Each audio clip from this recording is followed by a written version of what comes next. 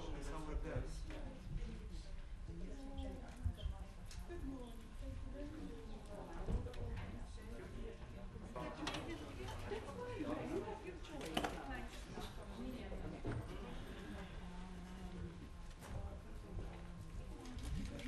important to not only support the research here in the European level, but also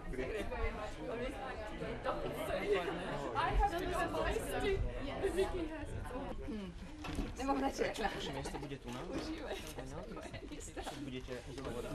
the research is very fragmented and heterogeneous. But today The number of Europeans who die from cancer every year is roughly equivalent to the city of Budapest. Or you could take Hamburg if you prefer. Either way, we are talking about 1,700,000 souls.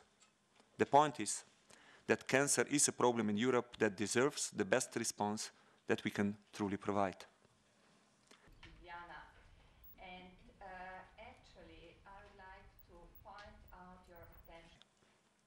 Both the European Code Against Cancer and the guidelines for breast cancer screening adopted by the European member states are among the outcomes of that work.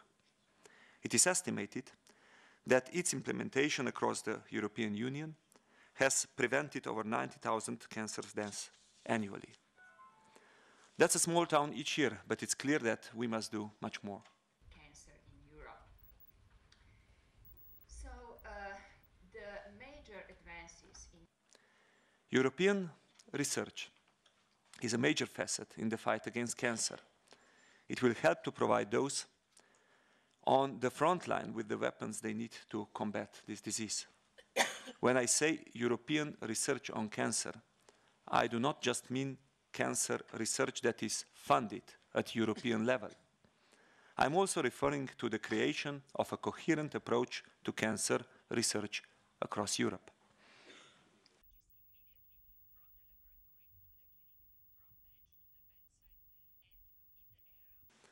We expect to devote directly to cancer research in the thematic area an amount of more or less 450 million euros during the period 2007 to 2013.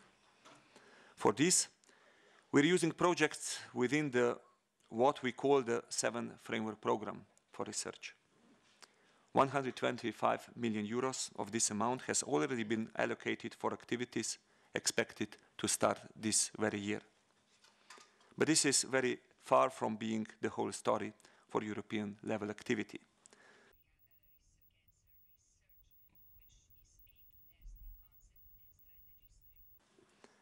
Cancer will also be addressed under the Innovative Medicines Initiative. This public-private partnership between the European Commission and the pharmaceutical in pharmaceuticals industry will accelerate the development of new treatments. Its first call for proposals is due for launch this year. So just a few words about EORTC. EORTC is independent of